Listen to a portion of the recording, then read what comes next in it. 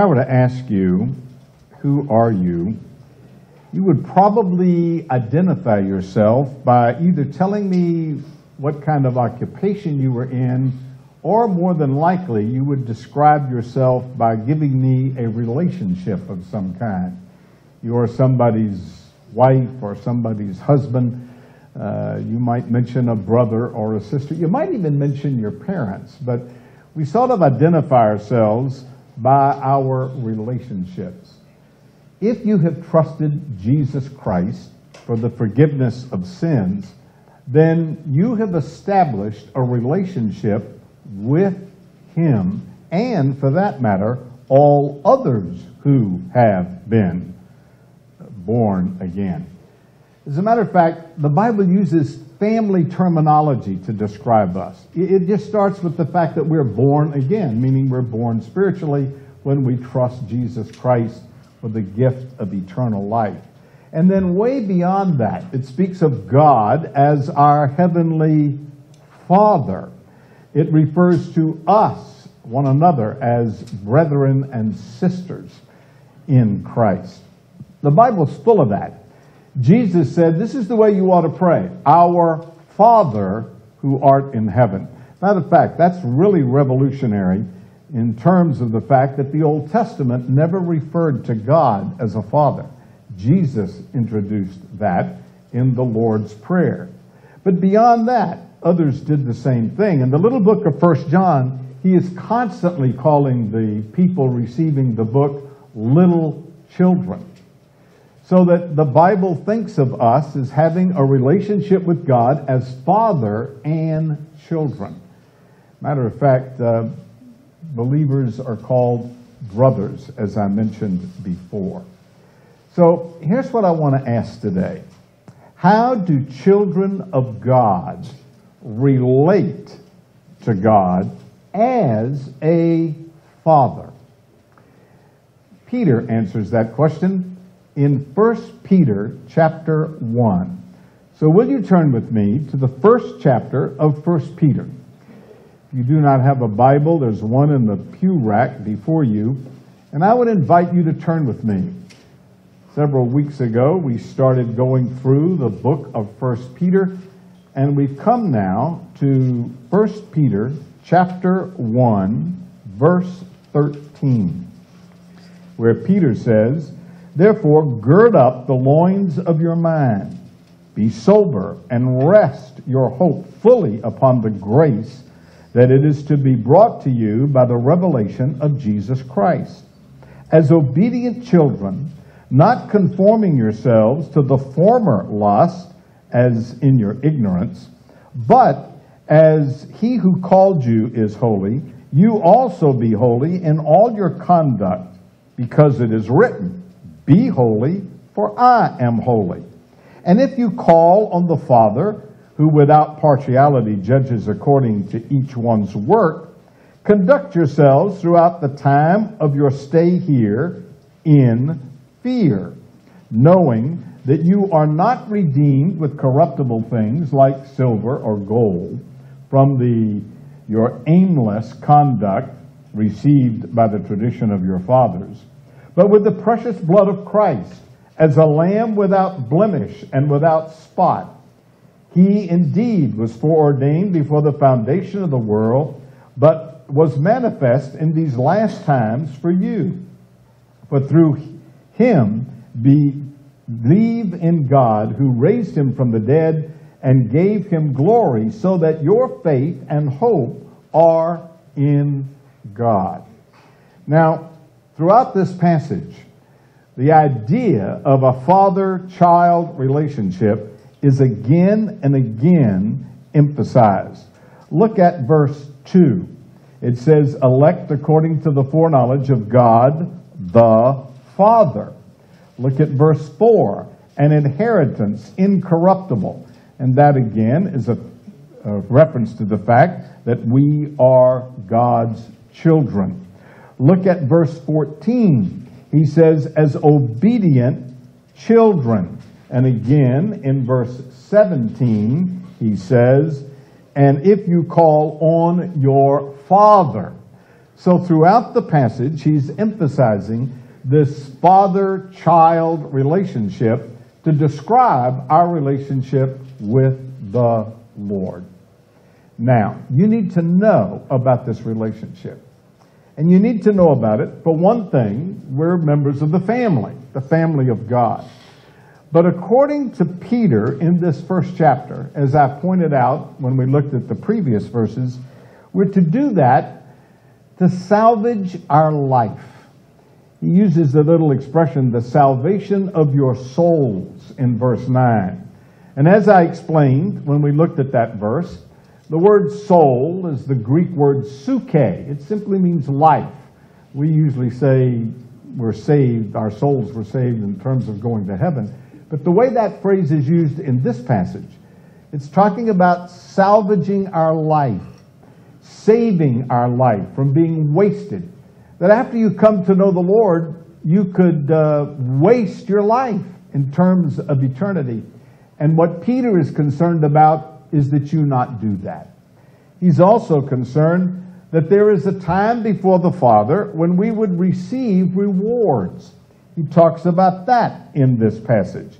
He says that in verse 7 that there will be praise, honor, and glory at the revelation of Jesus Christ.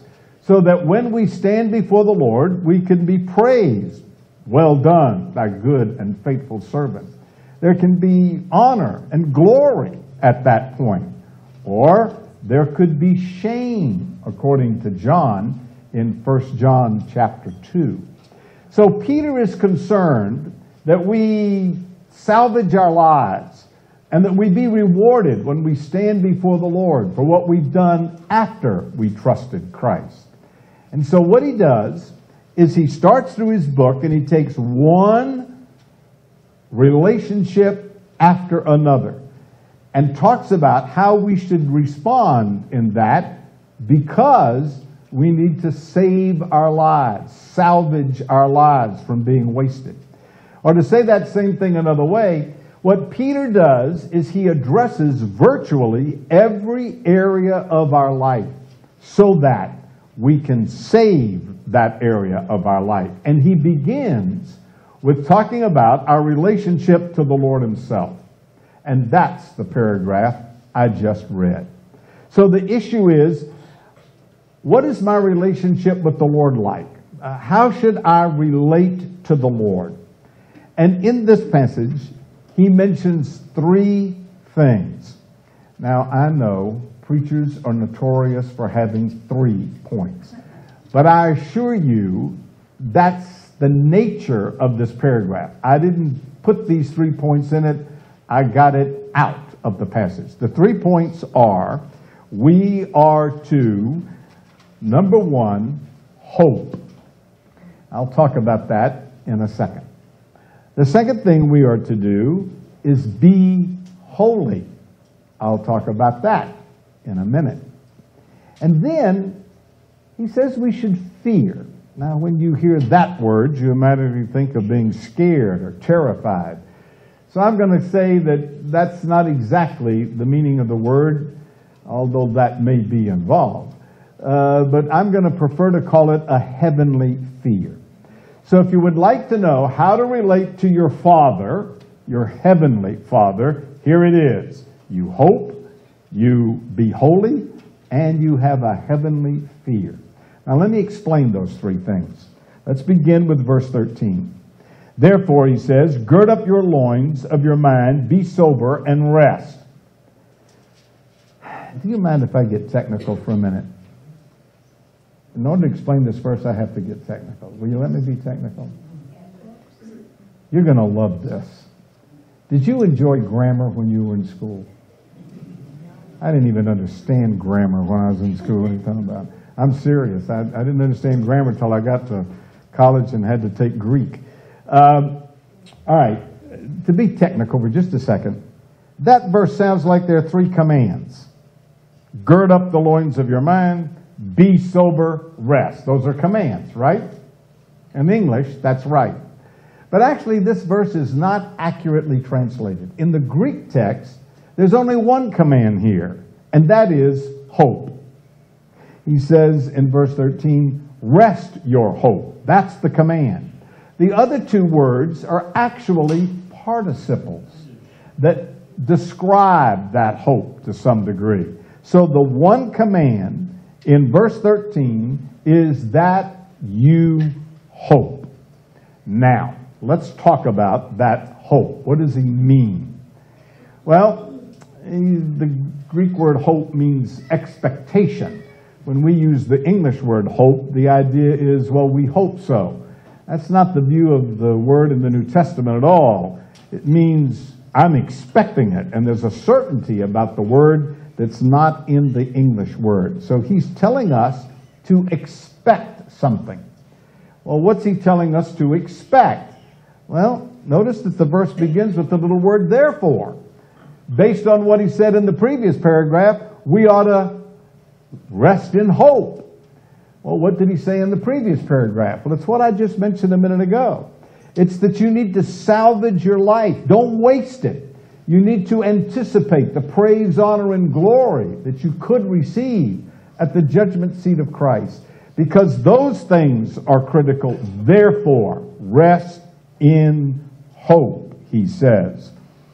Fully upon the grace that is to be brought to you at the revelation of Jesus Christ. Now put verse 13 with verse 7 that you be found to the praise, honor, and glory at the revelation of Jesus Christ. What's he saying? He's saying that when the Lord comes, when we stand before him, there's going to be praise, honor, and glory if you've responded properly. And so he mentions that at verse 7, and he brings it up again at verse 13. So this is our expectation. Our expectation is that the, the reward, he calls it grace in verse 13, that we're going to receive at the revelation of Jesus Christ. Now, the point is hope. Got it? Expect that's what's going to happen. Now, in order to get that done, here's what you need to do. You need to gird up the loins of your mind. What in the world does that mean? When was the last time you told somebody to gird up the loins of your mind? Well, let me explain. In the first century, when this was written, men wore robes. And the robes were all the way down to their feet. Now, if they had to move quickly, what they would do is gird up the loins. They had a belt, sometimes it's called a girdle, around their waist, and they would gather up their skirt and tuck it under uh, the robe and tuck it under the belt. So it would look like, I guess, a girl wearing a short skirt. At any rate, that made it possible for them to move more quickly. And that's the kind of thing he's saying. I think if we were saying this today, we might say something like, roll up your sleeves or take off your jacket and go to work. He's just using a figure of speech, only he's applying it to the mind. Instead of letting your robe flow all over the place, gird it up. Uh, roll up your sleeves mentally because we've got work to do. So, what is the point? It is simply this wandering thoughts tangle you up and impede rapid progress. So, don't let your mind, or I should say, your mental skirt drag. Tuck in vague, loosely flowing thoughts. Loose thinking, as somebody has said, is the forerunner of loose living. A disciplined mind is essential to disciplined living. Discipline your mind. Don't daydream about sin. Set your mind on things above. Now, in the context of this passage, he's saying, gird up your mind in expectation of what's coming in the future. Think about this. Think about it with a disciplined mind. One commentator said, and I quote, the Christian cannot expect to please God if he is not willing to work hard at thinking. The great emphasis upon experience and emotion that is overwhelming Western society, and many churches too, is sheer poison because it leads to interpretation of God's truth through experience rather than interpreting experience through God's truth. The Bible must interpret experience. It may not be interpreted by it. End of quote.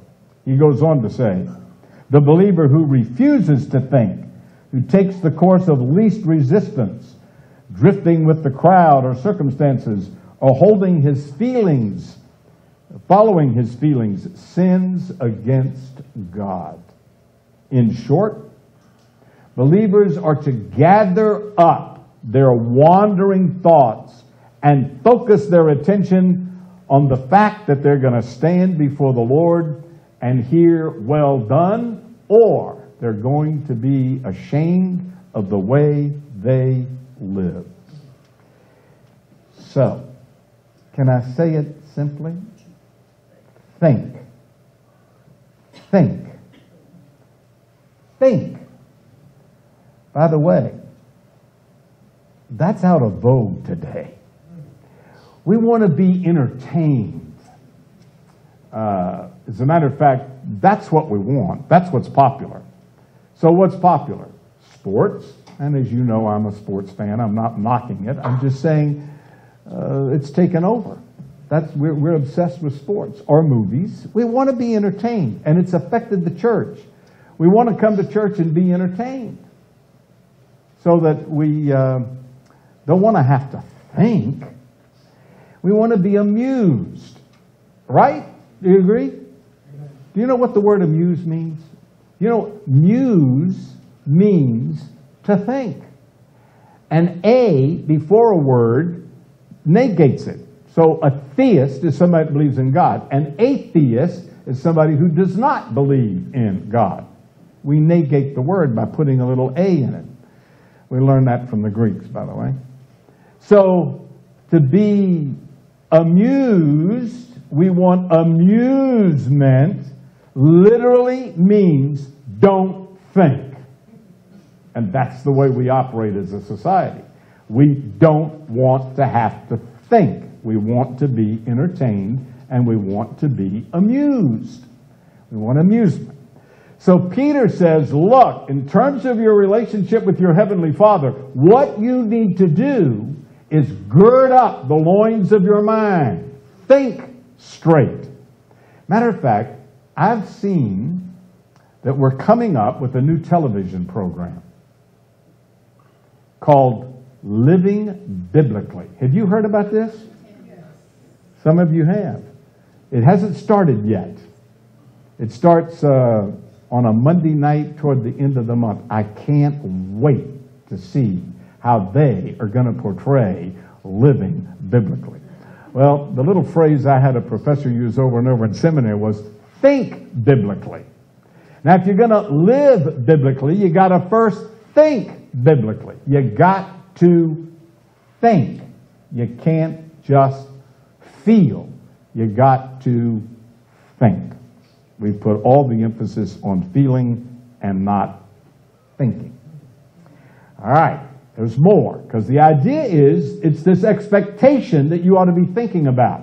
There's another command in verse 13. He says, and be sober.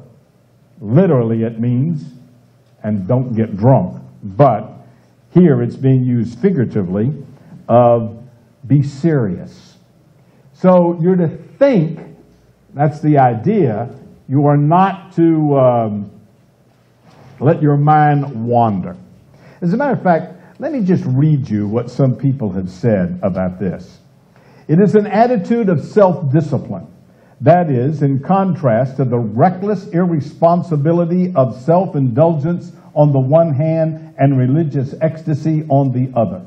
A spirit filled believer is not carried away like a drunk man into abnormal extravagance or acts as one in, but acts as one in full possession of himself. Another says, it is level-headedness, a calm, steady state of mind that evaluates things correctly so that it is not thrown off balance by new and fascinating ideas. Another says, it forbids any laziness of mind, which lulls the Christian into uh, sin, sinful thoughts carelessly. It is level headedness. A Christian is not uh, let his feelings overcome his thoughts. Get the point? Hope. Expect what's coming. And in order to do that, you have to gird up the loins of your mind and you have to be level headed and serious about what you let your mind think about. Years ago, there was an evangelist in the South named Bob Jones. He is very famous for a number of things, but one is that he kept saying, Don't sacrifice the permanent on the altar of the immediate. I think Peter would say it like this Don't sacrifice the eternal on the altar of the temporal. Now, that really captures what verse 13 is all about. That is, I am to expect, I'm to think about that expectation of being before the Lord. So don't just think about the temporal, the immediate, and sacrifice the eternal on that altar. That's the point. Is the great aim of your life something in this life, or is it something in the next? Are you living for the age to come, or are you living for this age? Are you living for time or are you living for eternity?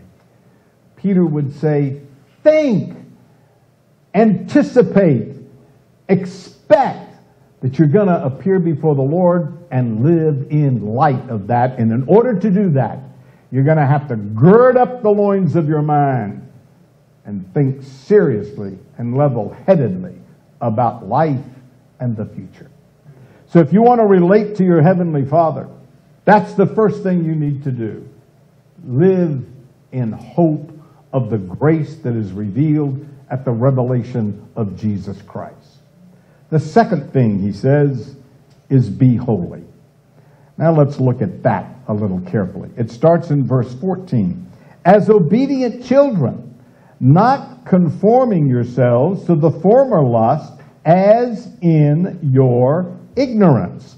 Now, what he's saying is simply this don't live like you used to before you were converted. In your ignorance is meaning your ignorance of God before you came to know Christ, before you trusted Him. You lived ignorant of God. Now, as obedient children, now you have a relationship with God as a father. So, as obedient children, he says, do not conform yourself to those former lusts. The Greek word translated conformity here only appears twice in all of the New Testament. The other verse you know well. Romans 12 says, Do not be conformed to this world. Same word. Here, Peter says, Don't be conformed to your former lust. Now, we hear the word lust, and what's the first thing you think about? Sex, right? In the New Testament, the word simply means desire. Now, it can refer to sexual desire, but it is not limited to sexual desire. As a matter of fact, it can be the desire for anything. Uh, if it's not sex, what is it? How about materialism? You walk around thinking about the next gadget you want. Some people just live for materialism so they can get more things. It's a game. The one who has the most when they die wins, kind of thing. I talked to a lady recently whose mother is a Christian, and she was lamenting how her mother has just lived to collect things. She just buys and buys and buys until she said, You go to where she lives, and it's stacked to the ceiling. You have to have a little path to get through it all. Now, that's an extreme case. Comes to mind because I had that conversation recently. But that little virus has affected a lot of us, maybe all of us, that we just want things. We lust after things. Or the desire could be jealousy. That those are the kinds of things we did before we came to Christ. And that's the kind of thing Peter is talking about. As we go through the rest of this book, he will mention things like that that we should not do. So he's saying, be holy. That's the point he's going to make. But first of all, that means you're not going to live like you used to live. By the way, what does that mean? Does that not imply you could? Could you live like you used to? Could you, could you trust Jesus Christ and know for sure you're going to heaven and live like you used to? Yeah, you could. The way some preach today, you can't. Matter of fact, I heard some illustrations of that recently that blew my mind. Uh, preachers saying that if you're really saved, you wouldn't do that kind of thing. And when I hear that, I want to think, did you ever read the Bible? You kidding me? Sure, you can live the way you used to. Just read the Bible. And then open one eye and just look around you. I mean, people that know the Lord do all kinds of stupid stuff, right? And this verse implies that. He is saying, don't do that. In contrast to that, he says in verse 15, but he, as he who called you is holy, you also be holy in all your conduct, because it is written, Be holy as I am holy. So the point of verses 14, 15, and 16 is be holy. Don't live like you used to, but be holy. Now we need to talk about that for a second. Uh, in the first place, um, let me just point out that when he says, as, as it is written, he's talking about the book of Leviticus. Uh, one of the most famous verses in the book of Leviticus is chapter 11, verse 44, that says, I am holy, so you be holy. Matter of fact, that's mentioned three times in the book of Leviticus. So, the reason we are to be holy is because God is holy. As you've heard me say before, when I started out in the ministry, which was many years ago, I spoke to young people a lot. And back in those days, as today, sex was a problem. So I had a sermon on sex. Why you should not have sex before marriage. And I listed all these reasons why you should not have sex before marriage. And some of them were very powerful. I thought so. So I listed, I think it was 10 reasons. And then one day it dawned on me none of that's in the Bible. It's true. You shouldn't because of all kinds of things. But none of that's in the Bible. The Bible says there's just one reason why you shouldn't do it. Thou shalt not commit adultery. Hello. It's one of the ten. it made it to the top ten. But you notice that's in Exodus 20, and at the beginning of that passage, he says, For I have redeemed you out of Egypt. So, according to the Bible, the one reason you ought to not do that is you know Jesus Christ and you shouldn't do that. You shouldn't live like you used to. You should not do that. So, the argument in this passage is be holy because your Father, as obedient children, your Father is holy, so you be holy. So, this is like a human father saying to his kids, behave, act like our family. Or a king saying to his son, uh, Remember, you are royalty. Act with a little dignity. So, likewise, the Heavenly Father says, You're my child. I am holy. I want you to be holy. Now, exactly what does that mean? All right, we should do that so that we can uh, be like our Father. But what does it mean to be holy? Well, the word means to be set apart, to be separated. When I first became a Christian, uh, I was introduced to this concept of, only they didn't call it holy, they called it living a separated life. Now, I, I came to the Lord when I was a teenager, and um, prior to that, as a teenager, uh, one of my activities was going to movies. I did it all the time. Didn't think anything about it. And the church I got saved in informed me that you shouldn't do that. Why? Well, you got to live a separated life. Going to movies has not been separated. How many ever heard that? You ever done that? You ever heard that? Yeah, okay. And so I quit going to movies. Am I holy? Not even close. I mean, there are all kinds of Christians that don't go to movies and all the kinds of things they do besides, and they think, well, I'm spiritual because I don't go to movies. And there's a whole list of, there's a man-made mandate of huge, uh, of, you know, I don't smoke, I don't chew, I don't go with girls that do. You know the story. All right. I'm going to give you a list of what it means to be holy. You ready? Put your finger in 1 Peter. We're coming back and turn to Ephesians chapter 4. You want to know how to be holy? I'm going to tell you. And the list is real interesting. Ephesians chapter 4. Look at verse 17. This I say, therefore, and testify in the Lord that you should no longer walk as the rest of the Gentiles walk in the futility of your mind. Translated, don't live like you used to before you became a Christian. Now, what does he mean by that? Well, he goes on to explain, verse 25, therefore put away lying. Let everyone speak truth to his neighbor. Verse 26, be angry and don't sin. Verse 27, don't give place to the devil. Verse 28, let him that stole steal no more.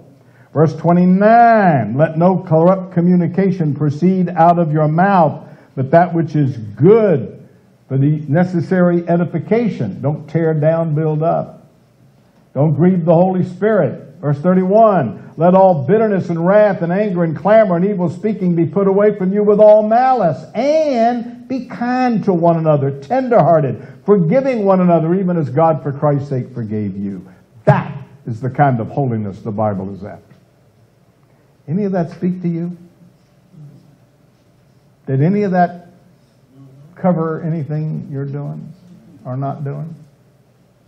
Well, just in case I missed you, turn to Philippians chapter 2. There's another list. And keep in mind, these lists are exactly what Peter is talking about. Don't live like you used to, but live righteously and holy, separated unto the Lord. Separation gets interpreted many oftentimes as separated from, and it includes some of that, provided it's biblical. But it's also separated to the Lord. So I want you to look at Philippians chapter 2, and I want you to look at verse 14. Do all things without complaining and disputing. Don't murmur. Don't complain. Look at what he says. Verse 15, that you may become blameless, harmless, children of God, without fault in the midst of a crooked and perverse generation, among whom you shine as lights in the world. You want to be really different than the world? Quit griping. Quit complaining. That's what it means to be holy. And so I am in contrast to the world. I don't complain, the scripture would say. All right. Now, there is a third thing in this passage, and that is, back in 1 Peter, he says, in essence, fear. The first thing is, you should have this expectation, this hope. The second is, you should be holy. The third is, you should fear.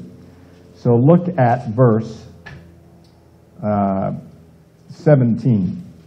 And if you call on the Father, whoa, whoa, whoa, whoa, whoa, whoa, whoa, whoa, whoa, stop, wait a minute.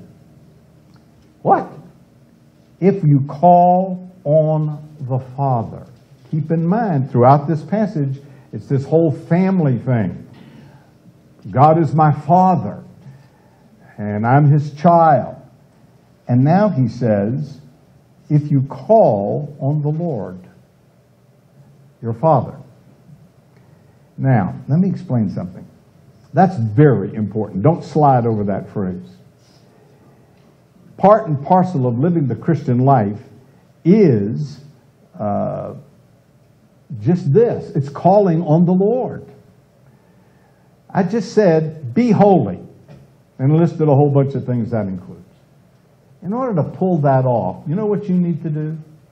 Call on the Lord. This Greek word actually means to call for aid, to call for help. So the Bible tells us we should live a godly, righteous, holy life. And you go out and try to do that in your own strength and you fall flat on your face because you missed this little phrase, calling on the Lord. You've heard me quote this verse before and you'll hear me quote it again. Hebrews 4:16. Come boldly to the throne of grace that you might find mercy and grace to help in time of need. So you can come boldly before the Father and say, I'm struggling with this. Help. I need your grace. First, I need your mercy because I just blew it. Now I need your grace to help me do it right. That's calling on the Lord. In this case, calling on the Father, he says. All right. But call on the Father for help. Now back in 1 Peter 1, 117, he says, who without partiality judges according to each man's work, conduct yourselves throughout the time of your stay here in fear. Live in fear. Now, wait a minute. At one point, he says, He's your father. Should you fear your father? He says it in the same verse. I thought fathers were supposed to love their children. They are. Matter of fact, our Father loved us. Look at verse 18. Knowing that you were not redeemed with corruptible things like silver and gold from your aimless conduct. By the way, that little phrase aimless really gets at what I think Peter's doing in this whole book. It means useless.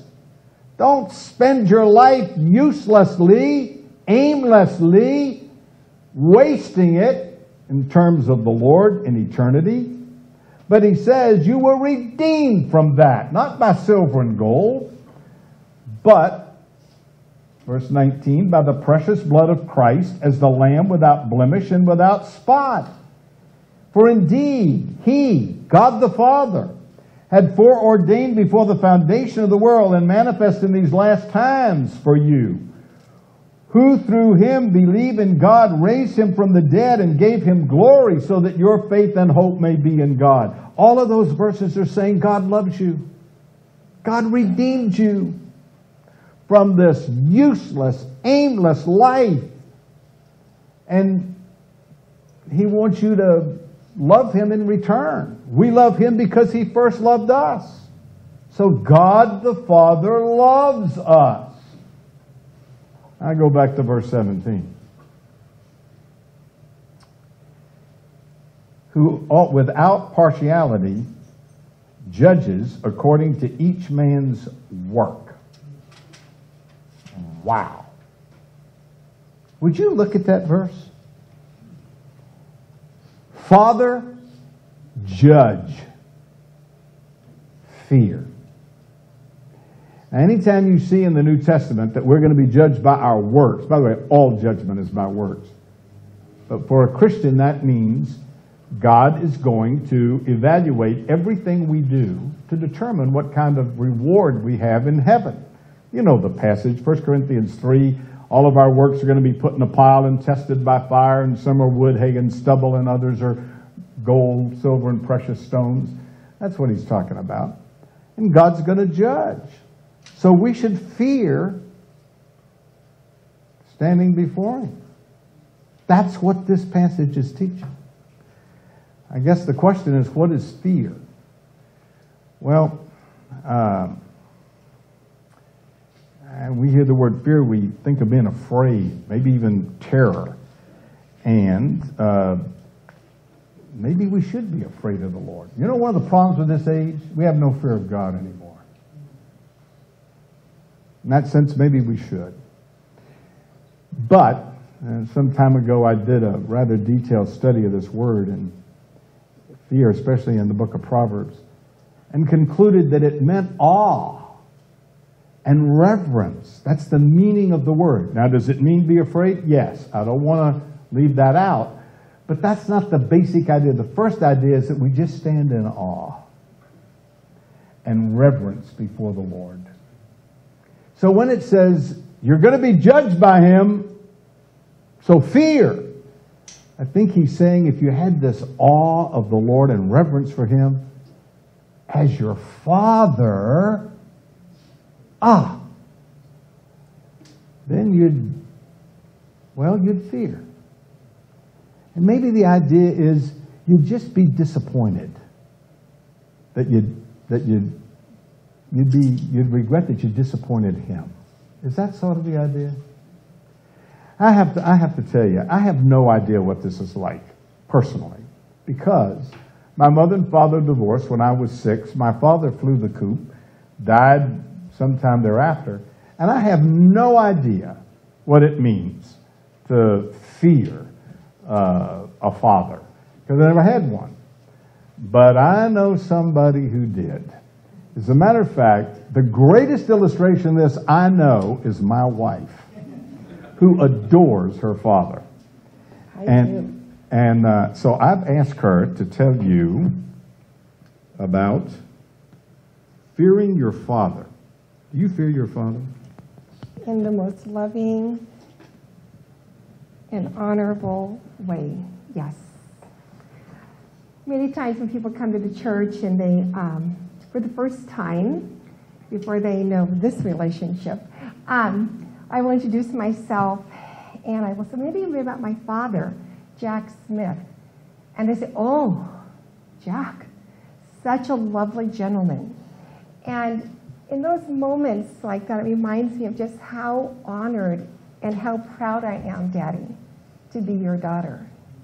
That Daddy is a man of, of to be respected and, it's, and it just shows so many great qualities.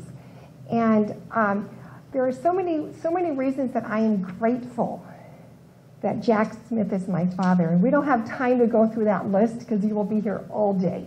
And those of you who know how I feel about my daddy know that we will be here all day. So I'd like to just highlight this because of your sermon today, uh, Pastor, is that it's so easy for me to believe that God loves me and that God wants the best for me. And that, I don't know, maybe I'm his favorite. I'm not sure. I might be God's favorite. because, because of the example that my father has been, that he's been loving, fair, clear of his expectations, clear of the consequences, but it's all done with such love. Reminds me of when I was a little girl, and um, I was raised in such a loving, God honoring home. And Daddy did really kind of represent maybe what God was like very loving, very fair, and very clear of what was expected and clear of, of, of the consequences. So um, at the house that we lived in, it had a very, very, very long hallway. Now, as I've grown up, that hallway has shortened considerably, but it used to be a much longer hallway. And on those occasions when I would choose to um, make a decision that was a, a, a choice that was against what was expected of me, I was to meet Daddy down the hallway. And again, that was a very long hallway. But it was there that I was met with a gracious, loving Father. But we had this discussion. Did you know what was expected? Did you make a choice that was um, against that? Yes. So it was at those moments that I, that I, in the biblical sense, feared my father. Not that he would be angry with me, but that he would be disappointed in me. So I can remember having a little discussion with him and then hugging, him telling me that he loved me, and then going to my bedroom. I will be 62 in May. I can still feel the emotion of laying on my bed in a curled up position and crying, not because I got in trouble, but because I disappointed my daddy. So, Daddy, I thank you and I honor you, and I do have this sense of awe and respect for you and such great love for so many reasons, but for teaching me and showing me the example of what God is like. And now I can, I've been able to transfer, not wanting to disappoint Daddy to this day, but not wanting to disappoint my Heavenly Father.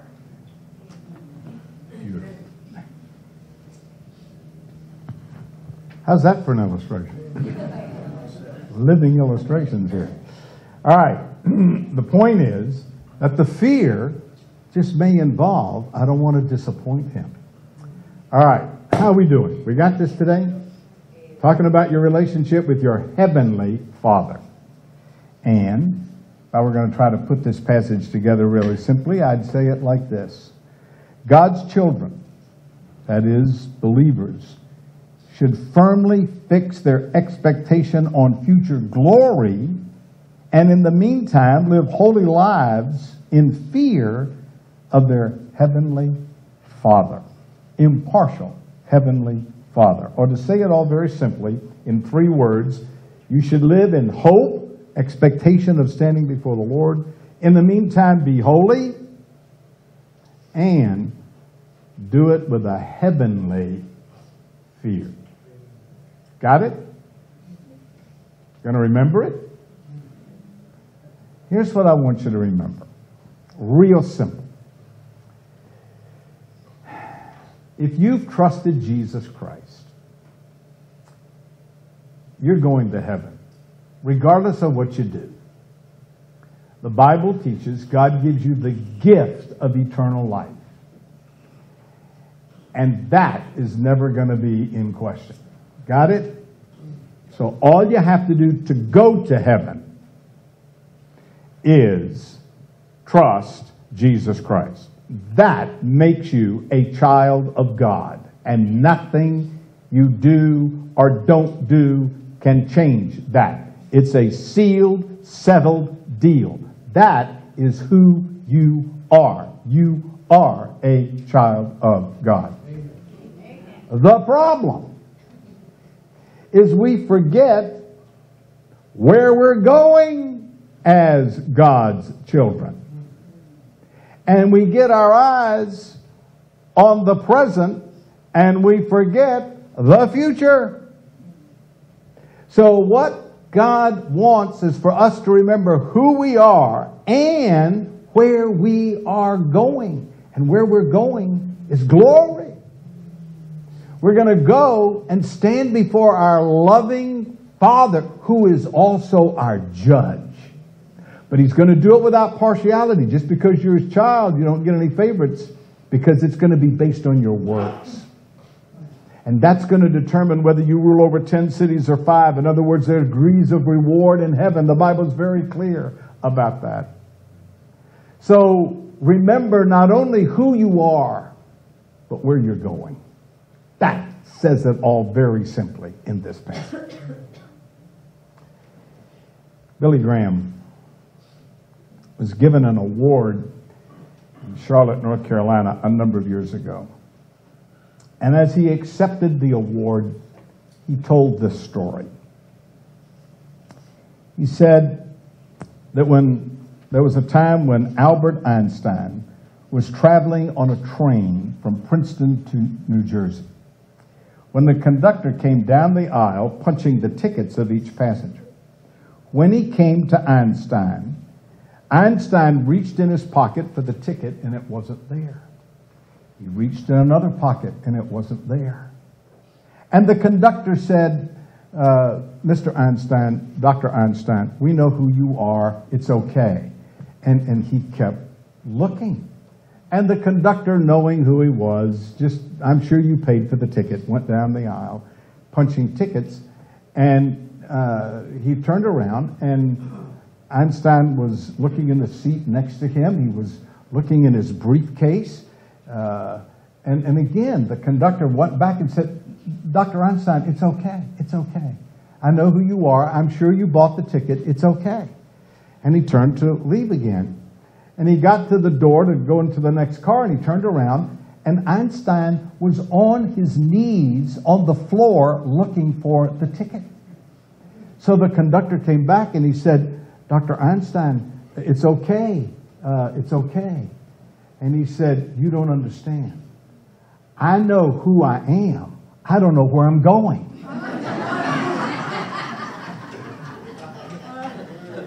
now, Billy Graham used it to say he knew where he was going. And I'm going to use it to say we forget where we're going. Amen? Amen. Let's pray.